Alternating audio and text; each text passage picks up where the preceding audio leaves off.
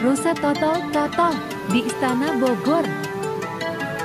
Rusa-rusa ini berasal dari Nipol, dibawa pertama kali oleh Sirta Musrafels sekitar tahun 1808.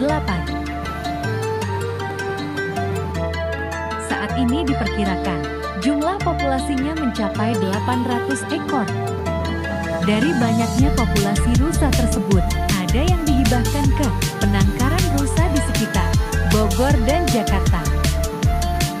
Rusa totol atau uncal, dalam bahasa Sundanya, telah menjadi figur fauna kota Bogor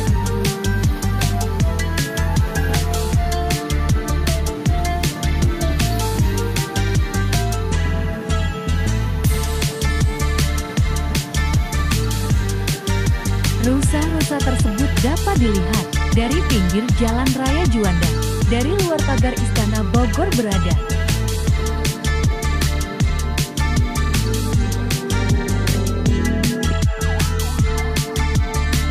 Sambil berjalan kaki atau sambil berolahraga, mengelilingi Istana Bogor dan Kebun Raya Bogor yang adem, kita dapat melihat aktivitas rusa dari luar pagar Istana Bogor.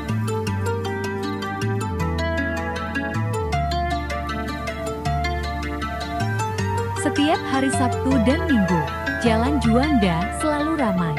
Banyak orang yang berhenti sejenak, melihat-lihat rusa, dan rusa pun sering kali berjalan mendekat ke arah pagar. Terima kasih sudah menonton.